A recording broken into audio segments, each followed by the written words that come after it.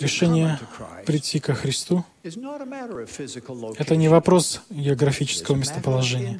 Это вопрос личного обязательства и выбора. Люди могут прийти к познанию Бога, не покидая своей Родины. Да, действительно. На заре истории Церкви обращение в веру часто подразумевало иммиграцию. Но сейчас собирание происходит в каждой стране. Господь повелел установить Сион в каждом царстве, где Он дал святым возможность родиться и получить национальность. Священное Писание предвещает, что люди будут приведены домой, в земли своего наследия, и поселятся во всех своих землях обетованных.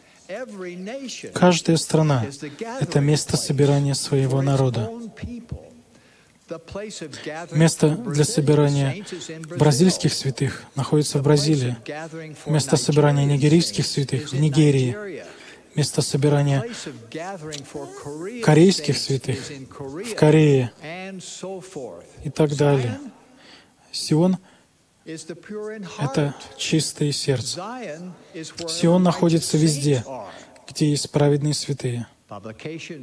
Печатные издания, средства связи и организация приходов сегодня таковы, что почти все члены Церкви имеют доступ к учениям, ключам, таинствам и благословениям Евангелия, независимо от места проживания.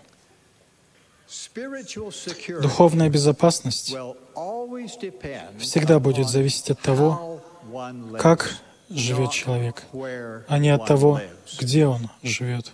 В каждой стране святые имеют равные права на благословение от Господа.